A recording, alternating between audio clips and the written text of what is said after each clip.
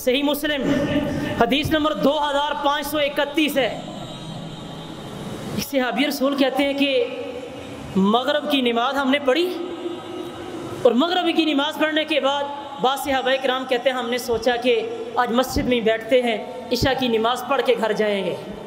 और ईशा की नमाज़ भी अल्लाह के रसूल सलाम की इब्तदा में अदा करेंगे।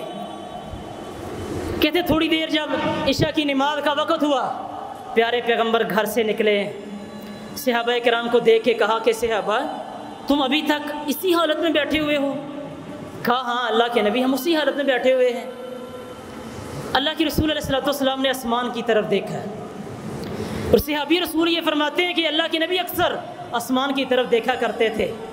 और कहते हैं, आसमान की तरफ़ देख के अल्लाह के रसूल सलाम फरमाते हैं, सहाबा, अन्नजूम अमनतुल्समा फ़ैदा नजूम अतसमा मातूहत कि सहाबा ये आसमान के सितारे इस आसमान के लिए अमन का बायस है कि जिस दिन ये सितारे चले जाएँगे, आसमान टूट जाएगा।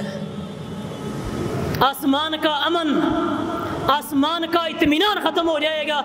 जिस दिन आसमान के सितारे बेनूर हो गए और फरमाया सहाबा आना अमनतुल्ले असहाबी कि सहाबा मैं मेरी ज़िंदगी मैं तुम्हारे लिए अमन का बायस हूँ फ़ैज़ा जहब तो अता असहाबी मायू अदून फिर मैं सहाबा जिस दिन मैं दुनिया से चला गया तुम्हारे ऊपर मसाइब आएँगे तुम्हारे ऊपर परेशानियाँ आएँगी फितनों का दौर दौरा हो जाएगा तीसरी बात अल्लाह के नबी फरमाते हैं फरमाया सहाबा व सहाबी अमनतुल्ल उम्मती व सहाबी अमनतुल्ल उम्मती फरमाया सहाबा तुम मेरी उम्मत के लिए अमन का बायस हो तुम मेरी उम्मत के लिए अमन का बायस हो फ़ैज़ा जहाबा सहाबी अता उम्मती मायू अदून फरमाया सहाबा जिस दिन तुम दुनिया से चले जाओगे जिस दिन सहाबा दुनिया से तुम चले जाओगे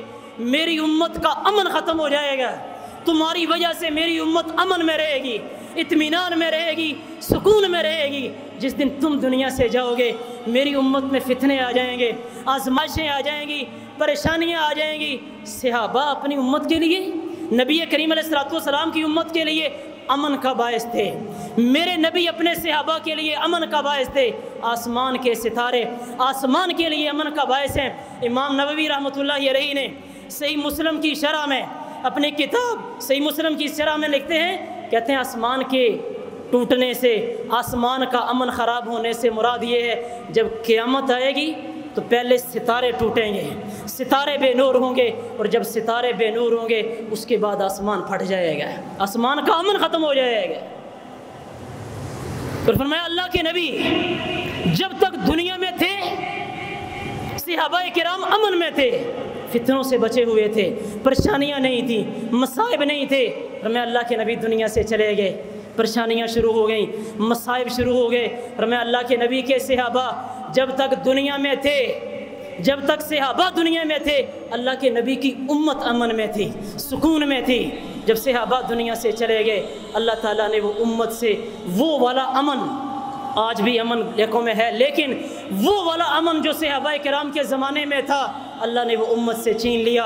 आज भी जो लोग सहाबा राम के नक्शे कदम पे हैं, अल्लाह ताला के वादे हैं, अल्लाह उनको अमन और इतमान अता करेगा। जिन लोगों ने तजर्बा करके देखिएगा मैं ये कुछ जोश में आके बात नहीं कर रहा। जिन लोगों ने अल्लाह के रसूल सलाम का सहाबा कराम का, अल्लाह के नबी सलाम का दामन छोड़ा है, मेरे रब ने सुकून छीना है, मेरे रब ने अमन छीना है। और लोग जुल्म करते हैं अपने आप पे। सहाबा अमन थे हमारे लिए अमन थे। और सहाबा आज भी अमन है।